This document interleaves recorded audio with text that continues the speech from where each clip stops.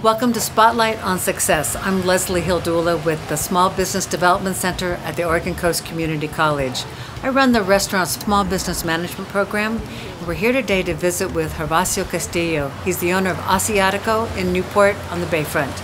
Let's go inside and see what he's been up to. I think you'll be impressed. Cream cheese, avocado, smoked salmon.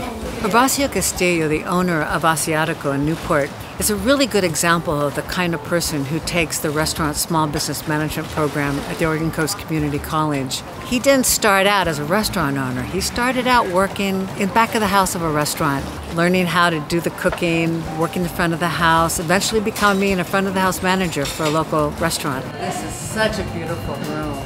And then from that experience of really learning what it takes to run a restaurant like Asiatico, he then took the next step. And when he had the opportunity, he bought the business, and now he's running it. And he used the program to help him identify areas where he could run it even better and where he could parlay 20 years of experience in the industry into being an even more effective owner and leader. Even though I have the experience, I still have a lot of questions and not very many answers.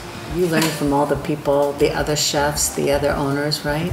I learned a lot more from the other restaurant owners. I mean, everybody had something to share with the class, and I love that.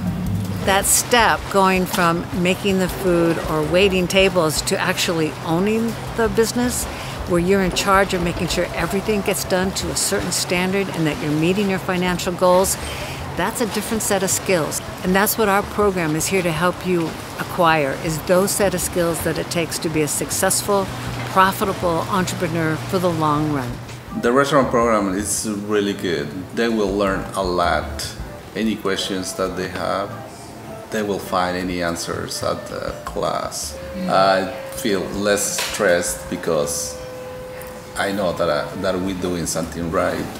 That's a twist on Okay. the Japanese style. Okay. So we've just had a lovely visit with Gervasio Castillo and his crew at Asiatico in Newport on the bay, where they take advantage of that gorgeous view and providing excellent food that is as beautiful to eat as it is to look at.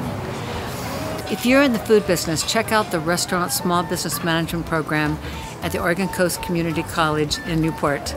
We are offering this program starting in the fall. It runs for 10 months.